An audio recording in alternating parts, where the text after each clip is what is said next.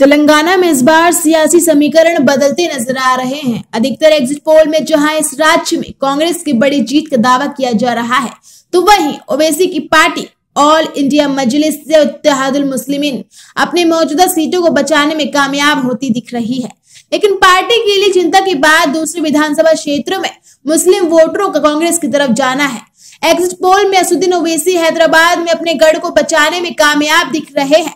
लेकिन हैदराबाद से बाहर मुस्लिम वोट बैंक एआईएमआईएम को छोड़कर कांग्रेस की तरफ़ ज़्यादा दिख रहा है। ये बदलाव अगले साल होने वाले लोकसभा चुनाव के लिहाज से कांग्रेस के लिए अच्छी खबर हो सकती है। दरअसल तेलंगाना में एआईएमआईएम बीआरएस के साथ मिलकर चुनाव लड़ती है। ओवैसी हैदराबाद और उसके आसपास की सीटों पर अपने प्रत्याशी उतारते हैं। एक सौ उन्नीस सीटों वाली विधानसभा में इस बार भी ओवैसी ने सिर्फ़ नौ सीटों पर अपने उम्मीदवार उतारे। बाकी सीटों पर उन्होंने बीआरएस को समर्थन दिया है। लेकिन इस बार मुस्लिम वोट बैंक हैदराबाद से बाहर ओवैसी से दूर जाता दिख रहा है। सीएम के चंद्रशेखर राव के विधानसभा क्षेत्र गजवेल में कई मुस्लिम वोटरों का मानना है कि केसीआर और भाजपा आपस में मिले हुए हैं। ऐसे में बीआरएस को वोट देने से बीजेपी को मदद मिलेगी। बीआरएस को लेकर मुस्लिम वोटरों के मन में शक की कई वजह है। कुछ वोटरों का कहना है कि मुसलमान होने के नाते हमें केसीआर से कोई समस्या नहीं, लेकिन हमें संदेह है कि वो बीजेपी के साथ मिलकर काम कर रहे हैं। कुछ समय पहले जब उनकी बेटी के कविता को कथित दिल्ली शराब घोटाले में गिरफ़्तार नहीं किया गया था, तभी से इस गड़बड़ का संदेह है। तेलंगाना में बीजेपी अभी रेस में नहीं है और पार्टी यहाँ अपना जनाधार बढ़ाने में लगी है।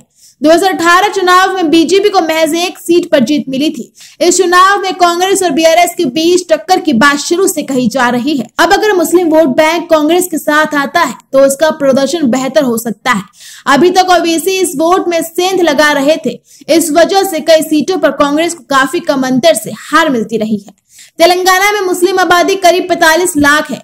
ये तेलंगाना की कुल आबादी का करीब तेरह प्रतिशत है। तेलंगाना की 119 विधानसभा सीटों में से 45 सीट पर मुस्लिम वोटर निर्णायक भूमिका रखते हैं। तेलंगाना में असुद्दीन ओवैसी की पार्टी सिर्फ़ हैदराबाद सिटी के मुस्लिम बहुल इलाकों में चुनाव लड़ती है। बाकी सीटों पर वो बीआरएस का समर्थन करती है।